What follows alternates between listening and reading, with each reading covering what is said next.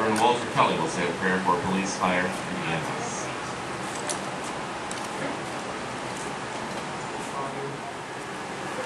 Almighty Creator God,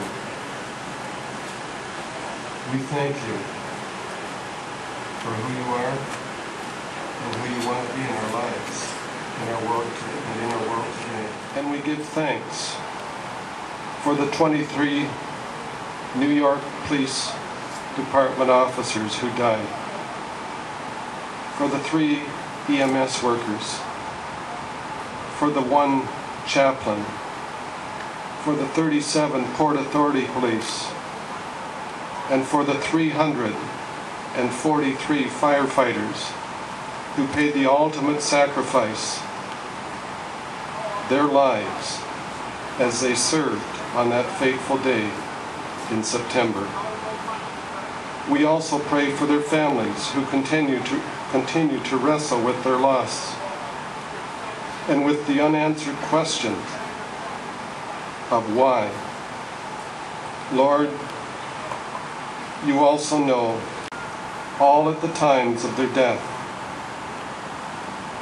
You are with us during the good times in life, and we thank you that you're with us, especially as we go through the valley of death and experience deep darkness and pain.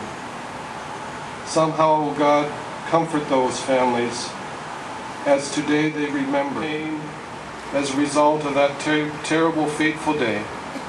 I pray that you, the great physician, would give them your touch. Lord God, I pray today for Chief Stewart and all who serve in Toronto Fire. I pray for Chief Raftis and all who serve in recognize the support that we have from some individuals here.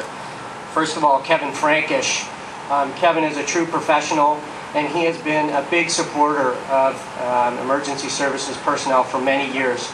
And we appreciate you being here today, Kevin. Thank you very much. Remember the many lives that were lost. We must also continue to look forward and value the strong bonds that we have built as a result of this tragedy. When I, when I look out here in front of me and look at the honor guards that are present and the support that we have from them and the tight bond that we have developed over the years with the emergency services, it really makes me feel good even when we are remembering the tragic days of 2001, September 11th. Thank you.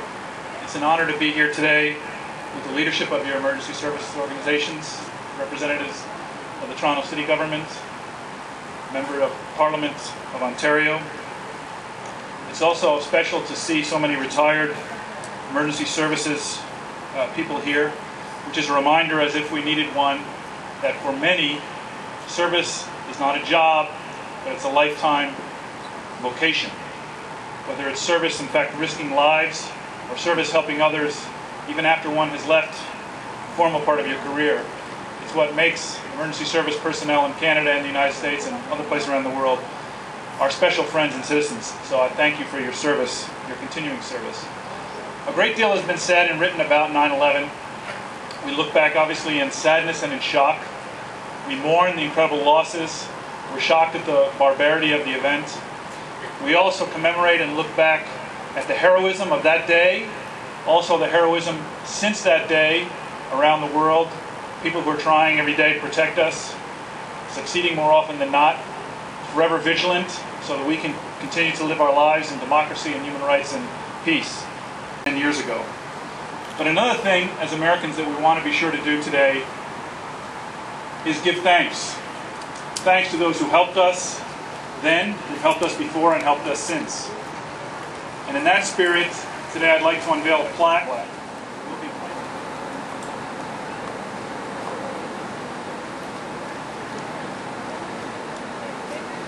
Thanks and remembrance.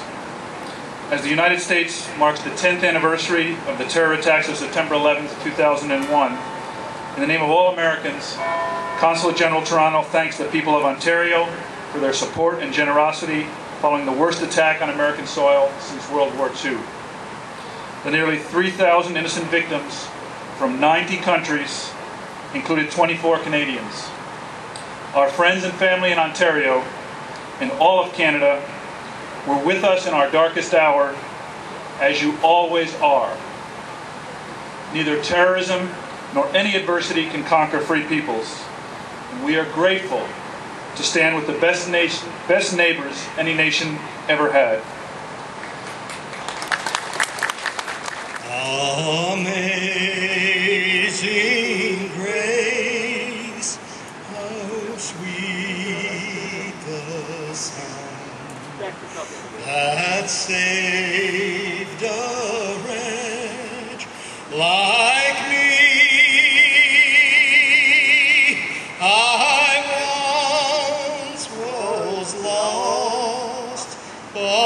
Now found. Bright shining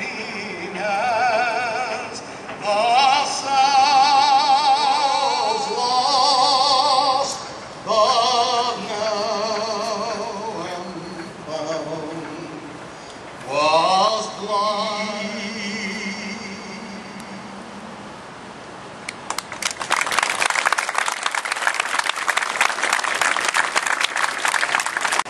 What he doing is uh, giving the U.S. Consul General We just one more round of applause for uh, a man who made this possible, uh, a lot in his own time, MJ.